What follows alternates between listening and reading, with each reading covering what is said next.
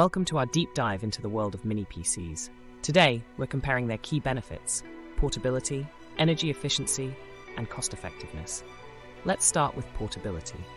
Mini PCs redefine flexibility in computing. Their compact size allows you to work from anywhere, easily fitting into backpacks or pockets. Next up, energy efficiency. Mini PCs consume significantly less power, reducing your bills and carbon footprint.